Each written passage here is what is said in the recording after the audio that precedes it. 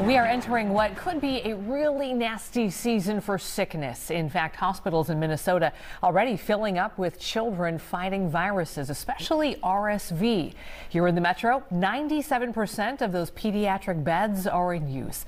Our top story in your 10 at 10, a surge in sickness that's catching many families off guard. A Sartell mother is now just one of many feeling helpless watching her five-year-old son get sick with RSV.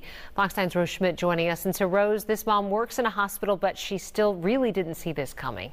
No, she did not. So typically pediatricians see the most cases among children two and under, but now they're seeing a lot more older children.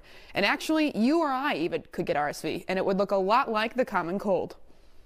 Leonardo and Raph and Johnny and Mikey. His Halloween costume this year will feature his favorite Teenage Mutant Ninja Turtle. This one. But Charlie Overland wasn't sure he'd get to wear it. That was our biggest fear, wasn't it? That we weren't going to be healthy in time for Halloween, but it seems like you're getting better, right? This charming five year old little boy I had a fever and a cough, and so I had to have medicine. Is on day six of respiratory syncytial virus. So it was kind of shocking because I thought for sure it was COVID or the flu. Um, RSV wasn't even something that was on my radar. Mom Ashley says she knew babies could get RSV, but was a bit puzzled to see it in someone Charlie's age. Now we're seeing more and more cases, and cases in older children as well. Before the pandemic, pediatricians say the RSV season would usually start closer to winter. But this year, doctors began seeing cases in late summer.